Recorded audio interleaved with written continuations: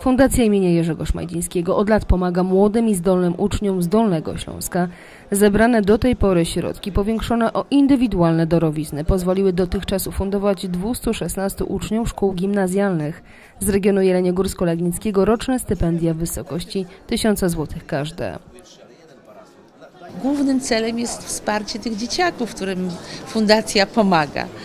I, I dlatego ja jestem ogromnie wdzięczna prezesowi Andrzejowi Dobrowolskiemu za to, że on ciągle ma jeszcze w sobie tę siłę i oby ją miał jak najdłużej. Po tragedii smoleńskiej w gronie przyjaciół postanowiliśmy powołać do życia Fundację imienia Jerzego Szmajdzińskiego.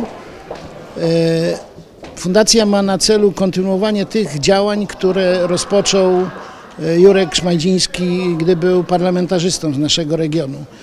I takim jednym z, jednym z zadań, e, czy, czy, które, które realizujemy, to jest pomoc dla e, zdolnej, zdolnych, zdolnych dzieciaków ze szkół kiedyś gimnazjalnych, no teraz po reformie musimy się, e, że tak powiem, przenieść do starszych klas szkół podstawowych pomoc dla właśnie zdolnych dzieci z y, tych szkół z rejonu Jeleniogórsko-Legnickiego. Te stypendia są co roku y, przekazywane.